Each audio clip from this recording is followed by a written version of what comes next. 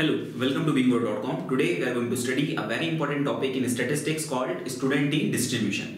तो अभी तक हमने जो वीडियोस बनाए थे उसमें हमने बात करी थी test of significance for large sample जिसमें हम जेड टेस्ट का यूज़ करते थे वहाँ पे सैंपल साइज़ क्या था? एन जो था वो तीस से बड़ा या बराबर था और पॉपुलेशन का जो स्टैंडर्ड डिविएशन था वो क्या था? नोन था ठीक है? और जो सैंपल हम सिलेक्ट करते थे है ना वो किस पॉपुलेशन में लेते थे? जिसका डिस्ट्रीब्यूशन कैसा था? नॉर्मल था ये हमने अभी तक पढ़ा था। अब स्टूडेंट की डिस्ट्रीब्यूशन कब लगाना है ना? तो इसको मैं एग्ज़ाम्पल के थ्रू बता रहा हूँ, है ना? फॉर एग्ज़ाम्पल अगर वो बिज़नेस मैन है रिसर्चर है, ठीक है? वो, उनको एक प्रॉब्लम इनकाउंटर होती है, वो प्रॉब्लम क्या रहती है कि वो लार्ज सैंपल साइज़ को सिलेक्ट करते हैं, ठीक है? और ये प्रॉब्लम थोड़ी टिपिकल कब बन जाती है? जब पॉपुलेशन में से सैंपल को सिलेक्ट करने की जो कॉस्ट है, वो क्या हो? बहुत ज़्यादा हो और आगे चल के उन सैंपल्स को हमें क्या करना पड़े? डिस्ट्रॉय करना पड़े, ठीक है? फॉर एग्ज़ाम्पल अगर मुझे पता करना है कि एवरेज लाइफ क्या है किसी कार के टायर की, है ना? कोई मैन्युफैक्चरिंग कंपनी है और उसको ये पता करना है कि जो एवरेज लाइफ है किसी कार के टायर की वो कितनी है तो उसके लिए करेंगे वो सैंपल सिलेक्ट करेंगे मतलब टायर्स लेंगे। और उन टायर को कब तक यूज़ करेंगे? जब तक कि वो खराब नहीं हो जाता। इसका मतलब अगर वो ज़्यादा सैंपल लेंगे, ज़्यादा टायर लेंगे तो वो कॉस्ट किसको बियर करना पड़ेगी कंपनी को बियर करना पड़ेगी, है ना? तो इसके लिए हम क्या करेंगे इस केस में? स्मॉल सैंपल का यूज़ करेंगे, है ना? Average life of car average life of car tyre को एस्टिमेट करने के लिए, ठीक है? तो इसके लिए जो स्टूडेंट डिस्ट्रीब्यूशन यूज़ होता है स्मॉल सैंपल के लिए ये आया कहाँ से? पहले हम वो समझते हैं, इसकी हिस्ट्री क्या है? तो जो डब्ल्यू एस गॉसेट थे, है ना, उन्होंने स्टूडेंट डिस्ट्रीब्यूशन को डिस्कवर किया था 1908 में, है ना। तो जो डब्ल्यू एस गॉसेट है, अब क्वेश्चन ये उठता है कि उन्होंने स्टूडेंट टी नाम क्यों रखा इसका? उनका नाम तो डब्ल्यू एस गॉसेट था गॉसेट डिस्ट्रीब्यूशन होना चाहिए, ठीक है। तो वो जिस कंपनी में काम करते थे, है ना गिन्नेस ब्रेवरी में इन डब्लिन आयरलैंड में तो वहाँ पे ऐसे ब्रू मास्टर काम करते थे और वहाँ पे ना उस कंपनी में क्या था कि अपने नाम से आप कुछ रिसर्च पब्लिश नहीं कर सकते। तो इसलिए उन्होंने एक पेन का नाम लिया जिसका नाम था स्टूडेंट और उस नाम से 1908 में एक रिसर्च पेपर पब्लिश किया जिसका नाम था स्टूडेंट डिस्ट्रीब्यूशन ठीक है? अब स्टूडेंट डिस्ट्रीब्यूशन उन्होंने क्या बताया कि ये अप्लाई कब होता है ना? कब सिग्निफिकेंस चेक करना है, कब अप्लीकेबल होता है? तो ये कंडीशंस क्या थी स्टूडेंट डिस्ट्रीब्यूशन की? सबसे पहली कंडीशन थी कि जब सैंपल साइज़ क्या रहेगा? स्मॉल रहेगा, ठीक है? सैंपल साइज़ क्या रहेगा हमारा? स्मॉल रहेगा। कहने का मतलब जो एन रहेगा वो थर्टी से क्या रहेगा? यहाँ पे छोटा रहेगा। तो लगाएँगे हम स्टूडेंट डिस्ट्रीब्यूशन दूसरा पॉपुलेशन जिसमें से हम सैंपल ले रहे हैं उसका स्टैंडर्ड डिविएशन कैसा रहेगा? अननोन रहेगा। मतलब पॉपुलेशन का स्टैंडर्ड डिविएशन हमें नॉन नहीं रहेगा। तीसरा पॉपुलेशन जिसमें से हम सैंपल ले रहे हैं, वो कैसी रहेगी? इज़ नॉर्मली डिस्ट्रीब्यूटेड ठीक है? इज़ नॉर्मली डिस्ट्रीब्यूटेड ठीक है? मतलब जिस पॉपुलेशन में हम सैंपल को सिलेक्ट करेंगे, वो एज अ नॉर्मल डिस्ट्रीब्यूशन क्या रहेगी? डिस्ट्रीब्यूशन रहेगी, ठीक है? तो जो पीडीएफ रहता है टी डिस्ट्रीब्यूशन का, वो क्या होता है? वो मैं लिख के बता रहा हूँ आपको कि जो पीडीएफ होता है टी डिस्ट्रीब्यूशन का, वो होता है सी फिर ये होता है one plus T square upon में nu whole to the power minus nu plus one divided by two ठीक है? तो यहाँ पे जो मैंने न्यू लिखा है न्यू का मतलब होता है डिग्री ऑफ़ फ्रीडम है ना? D dot F degree of freedom होता है, और इसका फॉर्मूला क्या होता है? एन माइनस वन जहाँ पे n का मतलब क्या होता है? सैंपल साइज़ होता है। ठीक है? अब यहाँ पे c का मतलब क्या रहेगा? इस पीडीएफ के अंदर c का मतलब एक कांस्टेंट रहता है। ठीक है? C का मतलब रहता है कांस्टेंट और इसका हम यूज़ क्यों करते हैं टी डिस्ट्रीब्यूशन के अंदर? कि जब इस t की रेंज के अंदर मैं इस फ़ंक्शन को इंटीग्रेट करूँगा तो जो एरिया अंडर द कर्व रहेगा, वो किसके बराबर आ जाए? यूनिटी के बराबर आ जाए। मतलब वन के बराबर आ जाए। है ना? इसलिए मैं कांस्टेंट का यूज़ करते हैं। ठीक है? न्यू का मतलब डिग्री ऑफ़ फ्रीडम होता है। अब यहाँ पे जो टी लिखा है, इस टी को बोलते हैं हम टी डिस्ट्रीब्यूशन या टी वेरिएबल और इस पे जब हम टेस्ट अप्लाई करते हैं तो उसको हम बोलते हैं टेस्ट स्टेटिस्टिक ठीक है? कुछ प्रॉपर्टीज़ पढ़ रहे हैं हम टी डिस्ट्रीब्यूशन की तो उन प्रॉपर्टी को पढ़ने के पहले मैं एक डायग्राम बनाया मैंने यहाँ पे, जिसमें ये कर्व डायग्राम है ना टी डिस्ट्रीब्यूशन का। तो देखो इसमें जो ब्लैक पेन से डायग्राम बना है, वो हम बात कर रहे हैं किस, किसका डायग्राम है, ये है स्टैंडर्ड नॉर्मल डिस्ट्रीब्यूशन का। ठीक है? दूसरा, जो रेड पेन से बना है, वो है टी डिस्ट्रीब्यूशन के लिए जो रेड पेन से बना है, वो टी डिस्ट्रीब्यूशन कर्व है, किसके लिए? For N equals to fifty मतलब जब सैंपल का साइज़ पंद्रह होगा, या डिग्री ऑफ़ फ्रीडम क्या होगा? एन माइनस वन फोर्टीन होगा। तो उसके लिए टी कर्व का शेप ऐसा रहेगा। ठीक है? तीसरा, ये ब्लू वाला कर्व बना है, ये भी क्या है हमारा? टी डिस्ट्रीब्यूशन का कर्व है कब जब एन क्या रहेगा? फाइव रहेगा। है ना? मतलब सैंपल साइज़ फाइव की रहेगी। या हम क्या बोल सकते हैं कि डिग्री ऑफ़ फ्रीडम कितना रहेगा? फोर डिग्री ऑफ़ फ्रीडम की ये कर्व रहेगी। ठीक है? अब हम इस कर्व को देखें तो जो ये जो टी कर्व है, वो भी as a standard normal curve जैसी है है ना? तो इस टी कर्व की जो रेंज है, वो क्या रहेगी? माइनस इनफाइनाइट से लेके प्लस इनफाइनाइट तक रहेगी। कहने का मतलब जो वैल्यू ऑफ़ टी वेरिएबल रहेगी, वो कहाँ से कहाँ तक रेंज करेगी? From minus infinity to plus infinity ठीक है? टी की वैल्यू यहाँ से यहाँ तक रेंज करेगी। दूसरा प्रॉपर्टी है कि जो टी डिस्ट्रीब्यूशन होता है, वो सिमेट्रिकल होता है अबाउट इट्स मीन मतलब जो टी डिस्ट्रीब्यूशन होता है, वो सिमेट्रिकल अबाउट क्या होता है? मीन होता है। देखिए, अगर हम ये कर्व को देखें तो यहाँ पे क्या आएगा? टी डिस्ट्रीब्यूशन का मीन आएगा, और वो मीन किसके बराबर होता है? मीन होता है यहाँ पे टी डिस्ट्रीब्यूशन का ज़ीरो के बराबर। जैसा हमारा स्टैंडर्ड नॉर्मल डिस्ट्रीब्यूशन में मीन ज़ीरो होता है, वैसे ही टी डिस्ट्रीब्यूशन में भी मीन ज़ीरो होता है। अब आप सोच रहे होंगे, दोनों दोनों में इतनी जैसे कॉमन है तो दोनों का यूज़ अलग अलग क्यों है? है ना? तो वो बता रहा हूँ मैं आपको। तो देखिए मीन ज़ीरो होता है टी का भी, और स्टैंडर्ड का मीन भी क्या होता है? ज़ीरो होता है। दोनों कर्व सिमेट्रिक अबाउट मीन होती है, ठीक है? जो वेरिएंस होता है टी डिस्ट्रीब्यूशन का, है ना? वेरियंस वो क्या होता है? एन अपॉन में एन माइनस टू होता है। कब जब एन क्या रहेगा? टू से बड़ा रहेगा, है ना? जब सैंपल साइज़ दो से बड़ी रहेगी तो इसका वेरिएंस क्या होगा? टी का? एन अपॉन में एन माइनस टू यहाँ पे एन का मतलब क्या रहेगा? सैंपल साइज़ रहेगी, ठीक है? या आप इसको डिग्री ऑफ़ फ्रीडम के फॉर्म में भी लिख सकते हो तो यहाँ एन की जगह आप एन माइनस वन लिख सकते हैं, है ना? डिग्री ऑफ़ फ्रीडम के टर्म में आ जाएगा। अब इसमें एक चीज़ क्या ध्यान रखना है आपको, कि जो वेरिएंस रहता है, वो हमेशा, है ना? वेरिएंस जो टी डिस्ट्रीब्यूशन में रहता है, वो हमेशा वन से बड़ा आता है, ठीक है? और जैसे जैसे हम सैंपल की साइज़ बढ़ाते जाएँगे तो टी डिस्ट्रीब्यूशन का जो वेरिएबल वेरिएंस है, वो क्या होगा? अप्रोच करेगा किसको? वन को अप्रोच करेगा। ठीक है? नेक्स्ट प्रॉपर्टी बहुत इंपॉर्टेंट है, वो क्या है? कि जो टी डिस्ट्रीब्यूशन है, उसकी जो हाइट रहती है है ना? हाइट इज़ क्या रहेगी? फ्लैटर रहेगी सेंटर पे, है ना? टी डिस्ट्रीब्यूशन की हाइट फ्लैटर रहती है सेंटर पे। अब अगर ध्यान से देखो मैं मीन की बात करूँ, ये ज़ीरो है तो सेंटर पे अगर हम देखें टी डिस्ट्रीब्यूशन की हाइट क्या है? फ्लैटर है। किससे फ्लैटर है? स्टैंडर्ड नॉर्मल डिस्ट्रीब्यूशन कर्व से फ्लैटर है। कम है, ठीक है? और हायर है इन टेल्स ठीक है? तो टी डिस्ट्रीब्यूशन की हाइट टेल्स पे क्या है? हाइट क्या है? हायर है। तो देखो, जो ब्लैक वाला है, उसको स्टैंडर्ड नॉर्मल डिस्ट्रीब्यूशन के बारे में बात कर रहे हैं। रेड वाले की बात करें तो टी डिस्ट्रीब्यूशन है सैंपल साइज़ 15 पे। और ब्लू की बात करें तो टी डिस्ट्रीब्यूशन है एन इक्वल्स टू 5 पे। तो अगर हम बात करें ब्लू और रेड की तो वो क्या है? ब्लैक वाले से उसकी जो टेल की हाइट है है ना? वो क्या है? ज़्यादा है है ना? कहाँ पे? टेल्स पे। इसका मतलब क्या होगा कि टेल्स पे क्या है? ज़्यादा डिस्पर्जन है। किसमें टी डिस्ट्रीब्यूशन में, ठीक है, ज़्यादा वेरिएशन है किसमें टी डिस्ट्रीब्यूशन में। देन किससे? स्टैंडर्ड नॉर्मल डिस्ट्रीब्यूशन ठीक है? मतलब टी डिस्ट्रीब्यूशन का जो सेंटर है, वो फ्लैट रहता है है ना? जब एन क्या रहेगा? हमारा स्मॉल रहेगा। जिससे वो एन इक्वल टू फाइव पे फ्लैट है, और कम वैल्यू है। एन इक्वल टू फिफ्टीन पे थोड़ी सी वैल्यू बढ़ी तो इसका मतलब क्या होगा? कि अगर एन कम रहेगा तो टी डिस्ट्रीब्यूशन का कर्व फ्लैटर बनेगा स्टैंडर्ड नॉर्मल से। और एन की वैल्यू में जैसे जैसे बढ़ाते जाऊँगा, वैसे वैसे क्या होगा कि जो टी डिस्ट्रीब्यूशन का कर्व है, वो रिसेंबल करेगा किसको? स्टैंडर्ड नॉर्मल डिस्ट्रीब्यूशन को, ठीक है? फिर इसमें एक और लास्ट जो प्रॉपर्टी वो क्या है? For each nu degree of freedom ठीक है? मतलब हर डिग्री ऑफ़ फ्रीडम के लिए there is different T distribution curve मतलब हर डिग्री ऑफ़ फ्रीडम के लिए, क्या बनती है जो टी डिस्ट्रीब्यूशन कर्व बनती है, वो अलग अलग बनती है। जैसे मैंने एग्जांपल लिया है तो मैंने क्या लिया यहाँ पे फाइव डिग्री और फिफ्टीन डिग्री मतलब सैंपल साइज़ पंद्रह है और सैंपल साइज़ पाँच है है ना? मतलब डिग्री ऑफ़ फ्रीडम फोर्टीन है और डिग्री ऑफ़ फ्रीडम यहाँ पे कितना है? फोर है, इस फॉर्मूले से। ठीक है? तो दोनों के लिए क्या बना है? कर्व का शेप साइज़ क्या है? अलग अलग बना है। ठीक है? दोनों कर्व सिमेट्रिक अबाउट मीन है बट एक फ्लैटर है मतलब जब एन कम रहेगा तो कर्व क्या बन रही है? हमारी यहाँ फ्लैटर बन रही है। मतलब अगर अपन अलग अलग डिग्री ऑफ़ फ्रीडम की बात करेंगे तो कर्व का जो शेप है, वो क्या रहेगा? डिफरेंट रहेगा। ठीक है? ये बहुत इंपॉर्टेंट बात थी इसके अंदर। अब नेक्स्ट हमें क्या देखना है इसमें? कि सबसे इंपॉर्टेंट डिफरेंस क्या है? टी डिस्ट्रीब्यूशन में और जो लार्ज सैंपल डिस्ट्रीब्यूशन हमने पढ़ा है ना? वो सबसे इंपॉर्टेंट डिफरेंस मैं बता रहा हूँ आपको। कि देखिए, अगर हम बात करें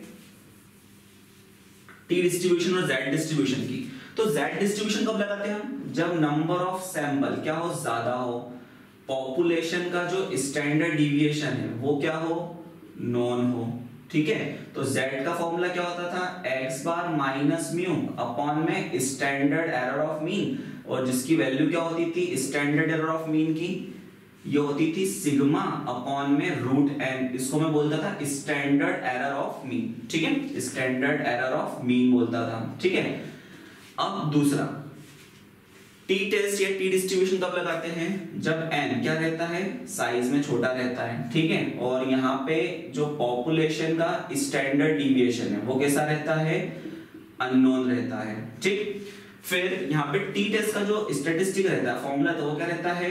X bar minus mu upon में एस डिवाइड ये सिग्मा एक्स बार लिखते हैं अपन यहाँ पे सिग्मा एक्स बार अब यहाँ पे जो सिग्मा एक्स बार है, वो क्या रहता है? एस अपॉन में रूट एन ठीक है? अब देखो यहाँ पे सिग्मा अपॉन रूट एन था स्टैंडर्ड एरर ऑफ़ मीन किस केस में? जेड टेस्ट में। तो सिग्मा मतलब पॉपुलेशन का स्टैंडर्ड डिविएशन और एस मतलब क्या होता है यहाँ पे? सैंपल का स्टैंडर्ड डिविएशन तो दोनों में इंपॉर्टेंट डिफरेंस क्या है यहाँ पे? कि ये जो डिनोमिनेटर क्वांटिटी है सिग्मा एक्स बार ये जो डिनोमिनेटर क्वांटिटी है सिग्मा एक्स बार या स्टैंडर्ड एरर ऑफ़ मीन ये हमेशा क्या रहेगा? कांस्टेंट रहता है जेड टेस्ट के केस में। क्योंकि आप कोई से भी साइज़ का सैंपल लोगे लार्ज सैंपल में तो ये वैल्यू हमेशा क्या रहेगी कांस्टेंट रहेगी, ठीक है? बट टी टेस्ट में, अगर मैं अलग अलग सैंपल लूँगा तो ये जो डिनोमिनेटर की क्वांटिटी है एस अपॉन रूट एन ये कांस्टेंट नहीं रहेगी। ये क्या रहेगी क्वांटिटी हमारी? वेरिएबल रहेगी, ठीक है? रैंडम वेरिएबल रहेगा। और ये क्वांटिटी लार्ज सैंपल में क्या रहती है? कांस्टेंट रहती है। मोर ओवर एक चीज़ और इसमें कि जो दोनों के न्यूमरेटर है, वो भी क्या रहता है रैंडम वेरिएबल ही रहता है। ठीक है? तो ये बहुत इंपॉर्टेंट डिफरेंस है। एक इंपॉर्टेंट डिफरेंस और है इनमें, वो मैं बता रहा हूँ आपको भी उसके पहले हम पढ़ेंगे जेड टेबल और टी टेबल में सबसे इंपॉर्टेंट डिफरेंस क्या है? ठीक है? तो अब देखिए जेड टेबल और जो टी टेबल रहता है, उसमें सबसे इंपॉर्टेंट डिफरेंस क्या है कि z टेबल में हम जब एरिया फाइंड करते हैं ना? एरिया प्रॉपर्टी का हेल्प से हम क्या करते हैं? टेस्ट ऑफ़ सिग्निफिकेंस लगाते हैं कि इस एरिया में आएगा नल हाइपोथेसिस तो हम रिजेक्ट कर देंगे मतलब रिजेक्शन रीजन में आएगा और एक्सेप्टेंस में आएगा तो उसको हम क्या कर देंगे? नल हाइपोथेसिस को एक्सेप्ट कर देंगे। ये हम जेड टेस्ट में करते हैं, ठीक है? तो हमारा जो फोकस रहता है लार्ज सैंपल वो किस पे रहता है? एरिया पे रहता है, क्योंकि हमको जो एरिया दिया रहता है, वो किस पे दिया रहता है? पॉपुलेशन और सैंपल मीन पे दिया रहता है, ठीक है? टी टेस्ट में हमारा फोकस किस पे रहता है? टेल्स पे रहता है। क्योंकि टेल्स पे टी टेस्ट में वेरिएशन क्या रहता है? ज़्यादा रहता है। इसका मतलब हमारा जो मेन फोकस है टी टेस्ट में, वो काय पे रहता है? टेल्स पे रहता है किसकी? टी डिस्ट्रीब्यूशन के कर्व की। ठीक है? अब सबसे बड़ा जो दिक्कत आती है, वो दिक्कत क्या आती है? मैं आपको बताता हूँ।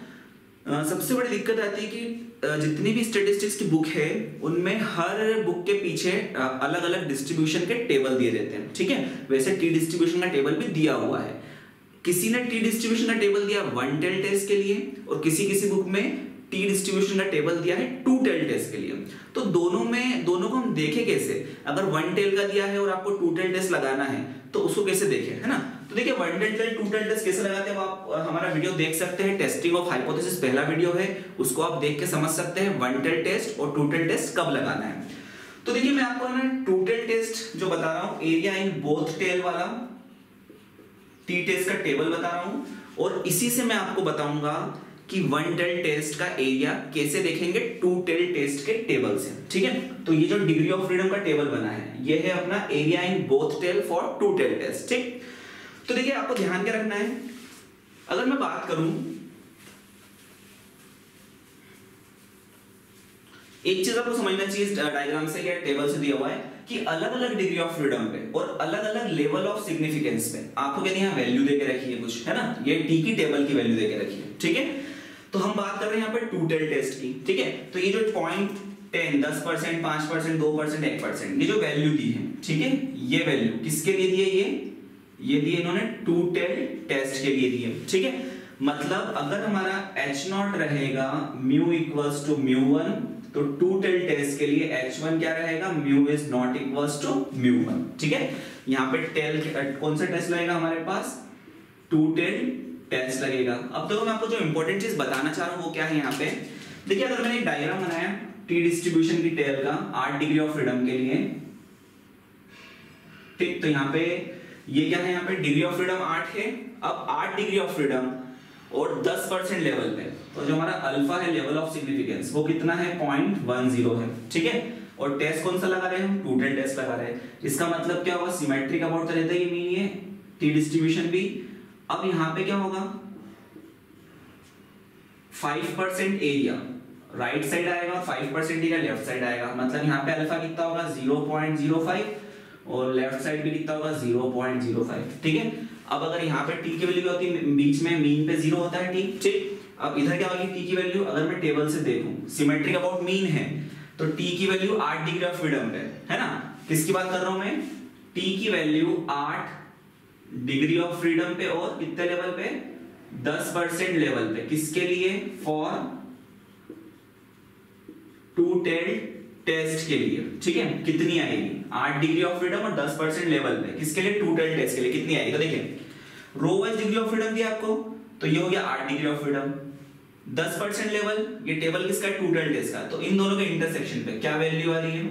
One point eight six zero आ रही है। तो इसका मतलब वैल्यू कितनी होगी? One point eight six zero तो यहाँ पे टी की वैल्यू कितनी होगी? One point eight six zero और इधर टी की वैल्यू कितनी होगी? Minus one point eight six zero क्योंकि सिमेट्रिक है तो जितना एरिया ज़ीरो से लेके इस टी तक है, उतना एरिया ज़ीरो से लेके इस टी तक रहेगा, है ना? नेगेटिव साइन क्या बता रहा है यहाँ पे? कि एरिया लेफ़्ट में है और पॉजिटिव साइन बता रहा है कि एरिया क्या है? राइट में है मीन से, ठीक है? ज़ीरो से, ठीक? अब क्वेश्चन ये होता है कि वन टेल टेस्ट कैसे देखेंगे? टू टेल टेस्ट के टेबल से। तो देखिए, बहुत सिंपल है। अब अगर मुझे टेस्ट लगाना है कौन सा? वन टेल टेस्ट तो मेरा जो नल हाइपोथेसिस वो क्या रहेगा? H not mu equals to mu one और एच वन क्या हो जाएगा यहाँ पे? Mu is greater than mu one है ना? तो ये कौन सा टेस्ट हो गया? हमारा राइट टेल टेस्ट हो गया, है ना? ये वन टेल टेस्ट हो गया। अब इस केस में मुझे अल्फ़ा कितना दिया है? सपोज़ करो फाइव परसेंट दिया है, ठीक है? मुझे अल्फ़ा कितना दिया? फाइव परसेंट दिया है और डिग्री ऑफ़ फ्रीडम कितनी आ रही है मेरी एट आ रही है, ठीक? तो आठ डिग्री ऑफ़ फ्रीडम पे, ठीक? और अब लेवल ऑफ़ सिग्निफिकेंस कितना हो गया? ज़ीरो पॉइंट ज़ीरो किसके लिए बात कर रहा हूँ मैं? फॉर वन टेल टेस्ट की बात कर रहा हूँ। अब ये वैल्यू क्या होगी? तो देखिए बहुत सिंपल है। टू टेल टेस्ट के लिए डायग्राम बनाऊँगा हमारे पास। अब एसी अगर मैं वन टेल टेस्ट का डायग्राम बनाऊँ, देखिए अगर एसी में वन टेल टेस्ट का डायग्राम बनाऊँ तो क्या बनेगा वन टेल टेस्ट का डायग्राम कुछ इस टाइप से बनेगा। सिमेट्रिक अबाउट मीन है। अब राइट टेल टेस्ट है तो ये जो अल्फ़ा है अल्फ़ा कितना है? हमारा 0.05 है। तो ये अपना अल्फ़ा है 0.05 तो मुझे यहाँ टी की वैल्यू निकालना है। तो आप देख सकते हो टी की वैल्यू कितनी रहेगी यहाँ पे? 1.860 ही रहेगी। ठीक है? ये जो टेबल है, ये एरिया इन बोथ टेल का टेबल है। तो आप ऐसा मत करना कि 8 परसेंट का ये वैल्यू वैल्यू लिख लो फाइव परसेंट की। ये गलत हो जाएगी वन टेल टेस्ट के लिए, क्योंकि ये आपको टू टेल का टेबल दिया हुआ है। ठीक है? अब वन टेल का टेबल अब आपको टू टेल के टेबल से वन टेल टेस्ट की वैल्यू निकालना तो कैसे निकालोगे? देखो, वो सिंपल है। अगर अल्फ़ा रहेगा दस परसेंट टू टेल टेस्ट के लिए तो पाँच पाँच परसेंट दोनों साइड डिवाइड होगा। तो उनकी वैल्यू कितनी है? एक one point eight six zero एक साइड है, एक side minus one point eight six zero है तो वन टेल टेस्ट में भी क्या रहेगी value one point eight six zero रहेगी। आठ डिग्री ऑफ़ फ्रीडम पे। बट डिफरेंस क्या हो गया यहाँ पे? आप ध्यान से देखो, यहाँ पे लेवल ऑफ़ सिग्निफिकेंस दस परसेंट है। यहाँ पे लेवल ऑफ़ सिग्निफिकेंस कितना है? पाँच परसेंट है। तो जब भी आपको वन टेल टेस्ट की वैल्यू देखना है टू टेल टेस्ट के टेबल में तो आपको ध्यान क्या रखना है?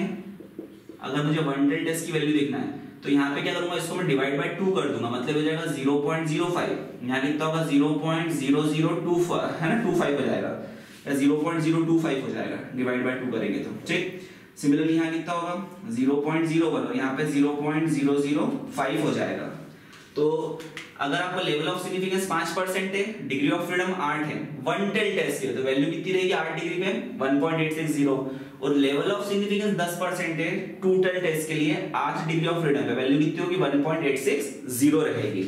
मतलब यहाँ वैल्यू कितनी आएगी? One point eight six zero रहेगी। ठीक है? तो ये आप कंफ्यूजन आपका दूर हो जाएगा इसको समझ के इजीली अब हमें डिसीज़न कैसे लेना है? कि हमें जो हमारी हाइपोथेसिस रहेगी, उसको एक्सेप्ट करना है या रिजेक्ट करना है? तो उसके लिए हम डिसीज़न लेते हैं। तो वो सिंपल है। जो भी हम टेस्ट स्टेटिस्टिक लगाएँगे, है ना तो हम निकालेंगे टी की कैलकुलेटेड वैल्यू उसको मैं मॉड में लिख रहा हूँ, है ना, कितने पे? At certain degree of freedom and at certain level of significance ठीक है? हम टी की कैलकुलेट वैल्यू निकालेंगे और उसको कंपेयर किससे करेंगे? टेबुलेटेड टी से कंपेयर करेंगे, ठीक है? अगर कैलकुलेटेड टी की वैल्यू ज़्यादा आ गई किससे? टेबुलेटेड टी से। तो हम क्या करेंगे उस केस में? रिजेक्ट कर देंगे किसको? हमारे नल हाइपोथेसिस को। इसका मतलब कोई भी सिग्निफिकेंट डिफरेंस नहीं रहेगा मीन में, ठीक? और अगर कैलकुलेटेड टी की वैल्यू छोटी आ गई टेबुलेटेड टी से तो हम क्या करेंगे? नल हाइपोथेसिस को एक्सेप्ट कर लेंगे या नल हाइपोथेसिस को हम रिजेक्ट नहीं करेंगे। ठीक है? ये डिसीज़न हम लेंगे। तो नेक्स्ट लेक्चर में हम देखेंगे इसकी various application of t test है ना? To test significance of single mean two mean और इंडिया कोरिलेशन कोएफिशिएंट्स ठीक है? तो अगर ये वीडियो आपको अच्छा लगे तो हमारे चैनल को सब्सक्राइब कीजिए वीडियो को शेयर कीजिए। Thank you